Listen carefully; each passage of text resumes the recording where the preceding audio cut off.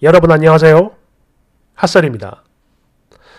이번 시간에는 입으로 독국물을 뿜뿜하다가 며느리는 물론이고 자기 아들한테도 손절당하게 생긴 할매 하, 데리고 왔습니다. 그럼 뭔지 봅시다.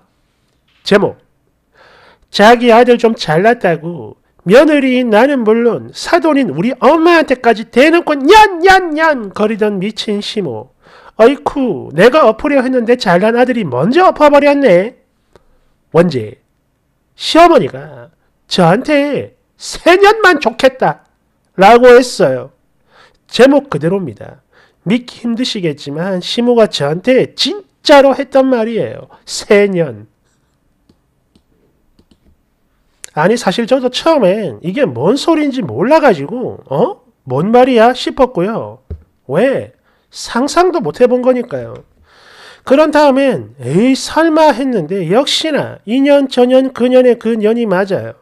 즉 한 년, 두 년, 세 년 이건데 하나는 저고요. 또 하나는 저희 딸 그리고 마지막 한 사람은 바로 시모 본인의 사돈인 저희 엄마를 두고 하는 말입니다.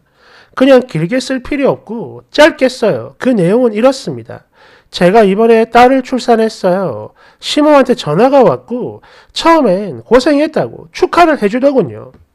그래서 어머님 감사합니다 이러고 있는데 그러고 있는데 갑자기 대뜸 흐이거 우리 아들같이 잘난 남자랑 결혼을 하면 세상에서 딱 3년만 좋다고 하던데 결국 그 말처럼 됐네?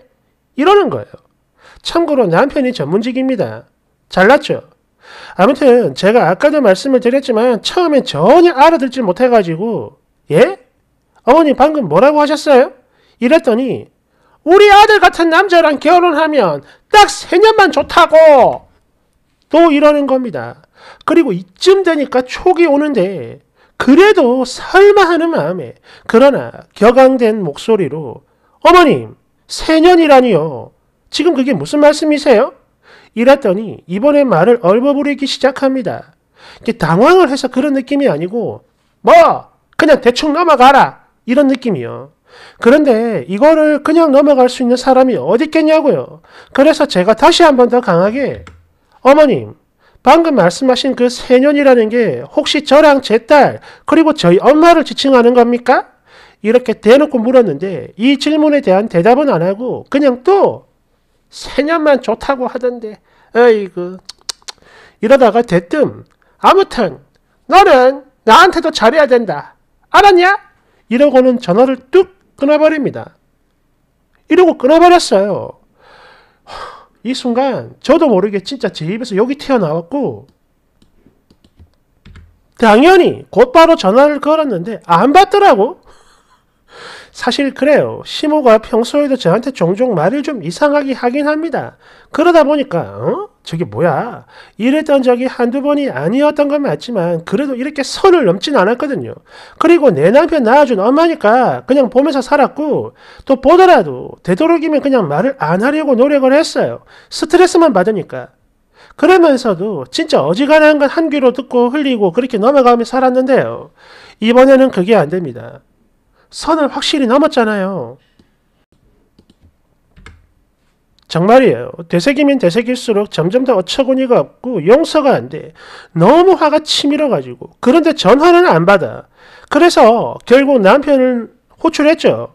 그리고 왔을 때 이 모든 걸 다 말했어요. 그랬더니 남편도 진짜 깜짝 놀라면서 뭐? 년? 그게 정말이야? 엄마가 진짜 당신한테 그런 소리를 했어? 이러는데 솔직히 그래요. 그 말을 직접 들은 저도 믿기가 힘들었으니 남편의 이런 반응 전혀 이상해 보이진 않았습니다. 여하튼 진짜다라고 했더니 바로 시모한테 전화를 걸었고 제가 보는 앞에서 한바탕 제대로 싸우더군요. 또 그 와중에 내 전화는 안 받고 지 아들 전화는 받는 게 사람 더 열받게 만들었어. 여하튼 엄마 진짜 그랬어? 그게 지금 제정신으로 할 수 있는 소리냐고! 아니 왜 아들 얼굴 어 똥칠을 하는 거야? 등등등. 남편이 미친 듯이 소리 지르고 난리를 치는데도 시모는 오히려 더 당당하게 아니 그 말이 뭐 어때서?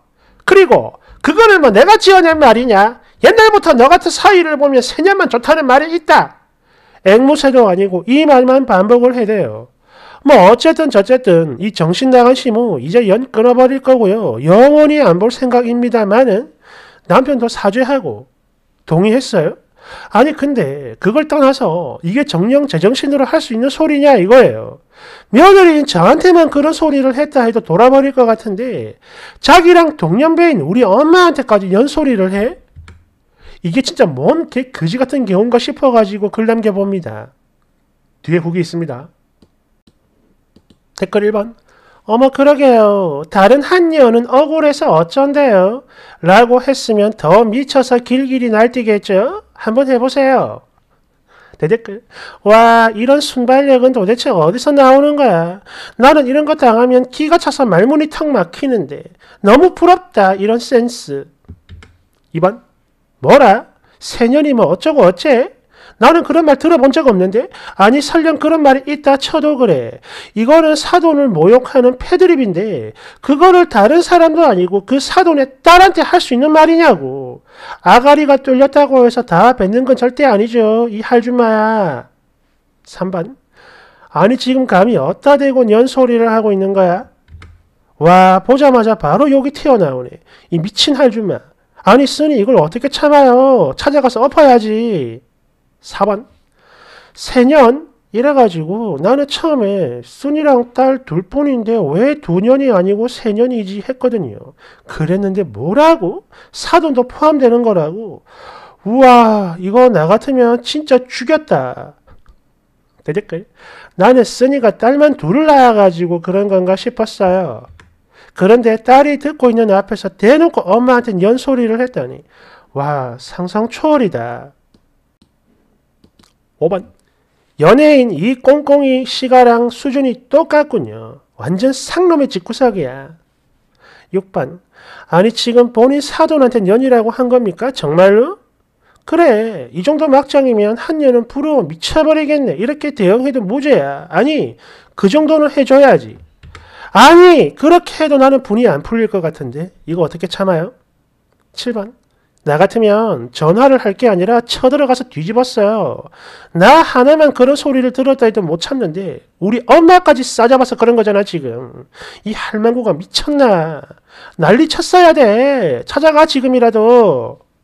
8번 나는 처음에 세년? 이게 도대체 뭘까? 뭐 다른 뜻이 있나? 뭐 3년 동안 좋다는 건가 했더니 헐 이런 미친 허 9번 헐 이거 주작 아닌가? 저런 인간이 실제로 존재를 한다고? 말도 안 돼. 10번 장난하나? 세상에 그런 말이 어딨어. 주작질 작작해라. 어? 추가 저희 시모가 했던 미친 말에 너무 욱해가지고 글을 휘갈게 썼더니 제 개인정보에 대한 제 개인정보가 너무 완전히 누락된 게 보이네요.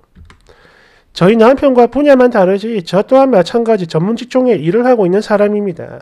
그리고 결혼할 때 당신들 형편이 한참 기울어가지고 진짜 단돈 1원 한 푼 지원해 준 거 없고요. 그냥 저희가 모은 거랑 거기다가 저희 부모님이 해주신 지원이 전부예요. 비록 서울까지는 아니지만 경기도 남부 수도권에 자가 마련을 전폭적으로 지원해 주신 분들이 바로 저희 부모님입니다.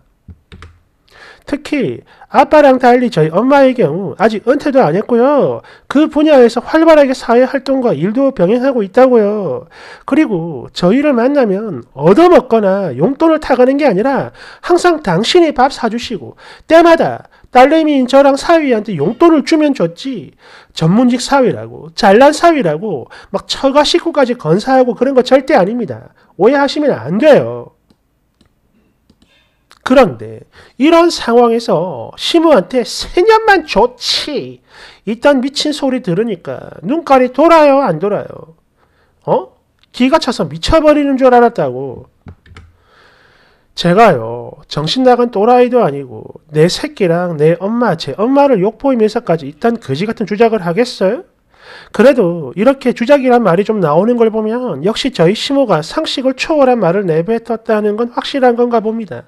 그래도 혹시나 나 혼자 감정이 너무 치어쳐가지고 날뛰고 있는 건 아닌가 싶었는데 역시 시모랑 영원히 연 끊고 사는 게 맞겠군요. 감사합니다. 아 그리고 남편도 제가 보는 앞에서 시모한테 대놓고 그랬어요. 내가 엄마 때문에 쪽팔려가지고 고개를 들 수가 없어. 이제 엄마한테 며느리는 없는 거야. 그렇게 알아? 라고 했으니 남편과 싸울 일은 없어요. 걱정 안 하셔도 됩니다. 만약 조금만 수틀린다. 그럼 우리 엄마한테 얘기할 거예요. 댓글 1번. 아니 근데 진짜 신기하네. 저 멍청한 할매가 어떻게 전문직 아들내미를 낳았을까? 뭐 돌연변이 그런 건가? 그렇구만. 2번. 저는 예전에 저희 큰애 가졌을 때 임신 소식 알리면서 시모랑 같이 밥을 먹는데요. 이때 시모가 갑자기 자기 친구 며느리 이야기를 하기 시작하는데 그 내용이요. 아이고 저거 시모한테 싸가지 없게 행동을 하다 벌을 받았는지 뱃속에 애가 잘못돼 죽어버렸다. 이딴 소리 하는 거 보고 겉으로 티는 잘 안 냈지만 진짜 깜짝 놀랐거든요. 본인이 지금 뭔 미친 소리를 했는지 아예 인지도 못해요. 아니 임신하고 있는 며느리 앞에서 저주에 가까운 그런 소리를 도대체 왜 하는 거야?